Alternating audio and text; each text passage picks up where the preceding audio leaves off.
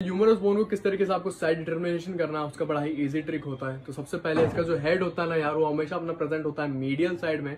उसके अलावा, इसके लोअर पोस्टीरियर में एक फोसा रहता है, उसे हम बोलते हैं ओलेक्रॉन फोसा तो आपको करना क्या है, इस ओलेक्रॉन फोसा को आपको पोस्टीरियर में कर देना है, और हेड को आपको रखना है मीडियल साइड में। तो आपको कुछ इस तरीके से इसको एनाटॉमिकल पोजिशन में होल्ड करके बताना है। और ये मेरा लेफ़्ट साइड है तो मेरी लेफ़्ट साइड की ये जो है ह्यूमरस बोन है।